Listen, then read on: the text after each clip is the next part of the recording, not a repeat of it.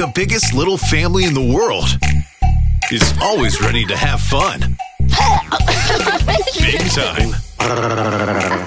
Whether it's daily life, You never share a razor disgusting. until you get married one day and share a razor with your wife because mom uses mine to shave her legs. Kind of disgusting. relationships, Oh, we gotta get creative. Bam! I've been talking to some boys, but we're just trying to like talk, get to know each other. Wait, boys in plural?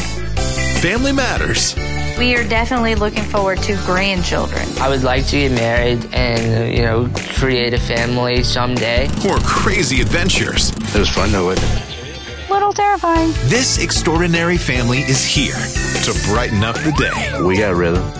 We got style. We ain't got no shame in our game. This is great. Yeah!